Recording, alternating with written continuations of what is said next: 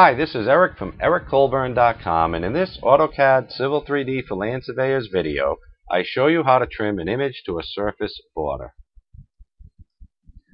So if you've been following the last few videos that I've made, I started with a video showing you how to take the border of an AutoCAD Civil 3D surface and extract that border.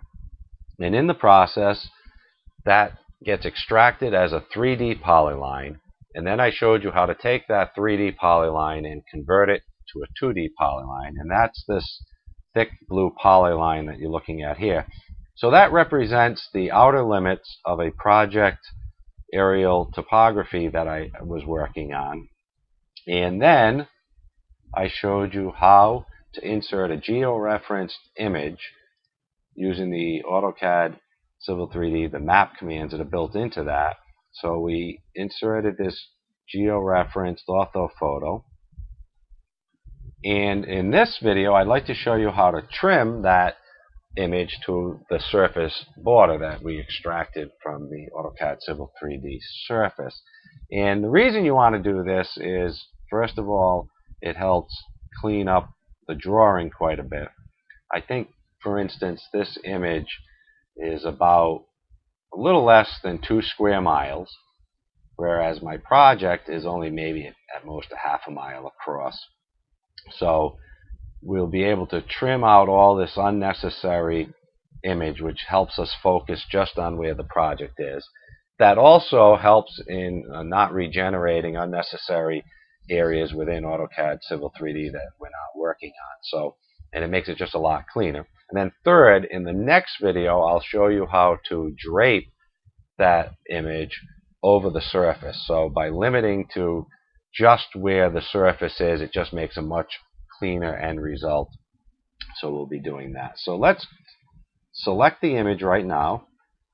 And if you have the ribbon running, the image panel opens and you can select create clipping boundary and if you like to use the command line, you can also just type in image clip, and I'll put that into the video notes, image clip at the command line, and this command will also come up. You can see by default it's set for rectangular, so you can pick a rectangular selection within the image, and it will uh, clip everything outside of that.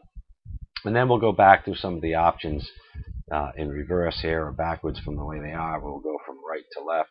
You can also do invert clip, so if you select that rectangle, for instance, it'll actually clip out what's within it and leave everything outside of it.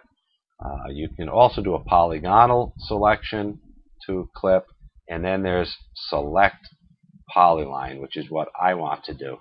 So I'm going to type in S for select polygon, and then just very simply select that 2D polyline that we created. And you can see what it's done is now it's very nicely, it has trimmed the image so that it doesn't show any of the image outside of the area where the surface border of that AutoCAD Civil 3D uh, surface is located. And like I said, not only does it make it clean, makes it a lot uh, more organized as to just the area that the image is showing for the project you're working on. You're not regenerating all that extra area where the image is and your project isn't. And then in, stay tuned in the next video, I'll show you how to drape this image over that surface border. So this has been Eric Colburn from ericcolburn.com with the AutoCAD Civil 3D for Land Surveyors video showing you how to trim an image to a surface border. If you uh, have any comments, please leave them in the comments section below. Thanks and be brilliant.